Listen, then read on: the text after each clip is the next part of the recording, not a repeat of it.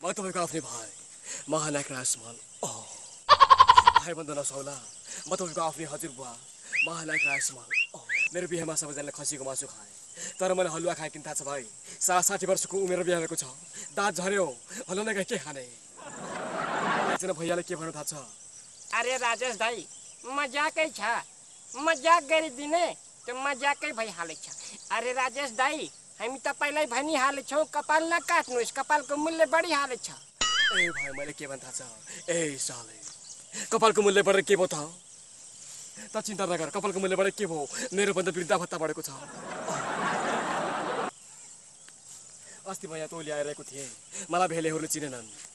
म का ट्याक्सी कुरेर बसिरहेको थिएँ। मेरो पछिबाट कसरी जिस्कायो।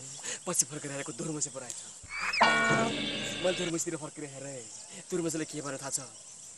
काकी तेरो रहेछ भनेर भनेको त राजेश दाई पो रहेछन् ए साले केटा कुन केटी कुन चिन्न सक्दैनस् अनि कहाँबाट चिन्नु त पछिबाट हेर्दाखेरि तपाईँ गेट यस्तै देखिनुहुन्छ ए भाइ हेर्नुहोस् न साला केटा कुन केटी कुन चिन्न सक्दैनन् कपाल ओहो पाल्न पनि नहुने ए तपाईँलाई थाहा छ मैले आफ्नो कपाल अङ्गारक्षक फिल्ममा किन काटेँ ए भाइ यस्तो पनि पनि रहस्य छ साला सुटिङमा गएको थिएँ। डाइरेक्टर जति बेला पनि भन्यो कट कट कट। साला अङ्ग्रेजीमा कट भनेको काट्नु हुँदो रहेछ। घर आएर साला कपाल काटिदियो। ए भाइ सबैले भनेका छन् देश डुब्न लाग्यो डुब्न लाग्यो। ए भाइ मलाई निकै चिन्ताको विषय यो रहेको छ। मलाई त पौडी खेल्न पनि आउँदैन के सबैले भन्छन् नेताहरूले देश टुक्रा टुक्रा पारेको छन्। यो देश टुक्रा टुक्रा परेको छ।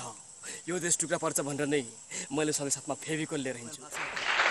अस्ति हिरोले चुम्मा खाएको देखेर मैले पनि आफ्नो श्रीमतीले चुम्मा खाइदिएँ। मेरो श्रीमतीले के भने थाहा छ?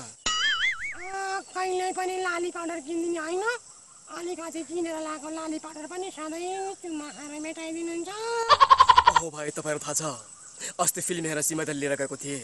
अनमोल किसिमले फिल्ममा चुम्मा खाइरहेको थियो। मैले पनि श्रीमतीलाई चुम्मा खाइदिएको थिएँ। के भने थाहा छ?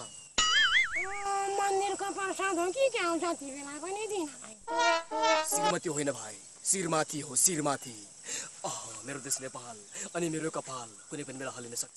कसले भन्छ महानायक राजमा नाच्न आउँदैन भनेर? कसले भन्छ महानायक राजमा नाच्न आउँदैन भनेर? जब वैशाख बाह्र गते भूकम्प आइरहेको थियो एकदम राम्रोसँग नाच्न जान्ने मान्छे मै हुँ। स्टेज कभर गरिकन ओह सय मानिसहरू दुःखी थिए त्यो दिनमा। हेर भाइ सय मानिस दुखिरहेका थिए रोइरहेका थिए तर म धेरै खुसी थिएँ। किन थाहा छ भाइ साला भर्खर भर्खर बिहे भएको छ। मलाई लागेको थियो म त बच्चाको बाबु हुँदैछु। साला कुरो अर्कै रहेछ। मेरो श्रीमती मात्र होइन। सारा नेपालले हल्लिएको रहेछ। यो पाइथागोरस भन्ने मान्छे कुन हो? यो पाइथागोरस भन्ने मान्छे कुन हो? साला पृथ्वी गोलो छ भन्ने पत्ता लागेको छ। ए भाइ पृथ्वी गोलो छ भने नेपाल मात्र किन हल्लिन्छ? ए भाइ थाहा छ यो देशमा मानिसहरूको पनि सुपति सुरक्षा छैन। ए भाइ मानिसको त के कुरा गरौँ हजुर?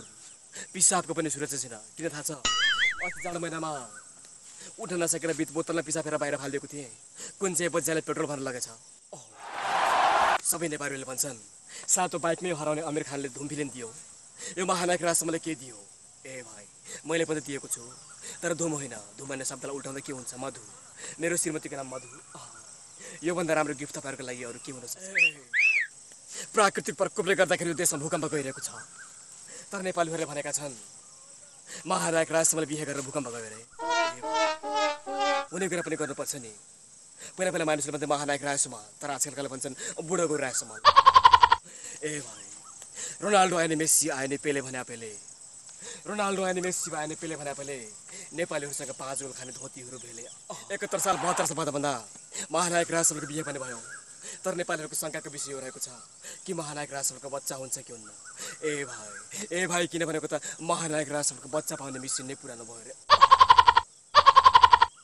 ए भाइ अनमल कसैले के भन्नु थाहा छ?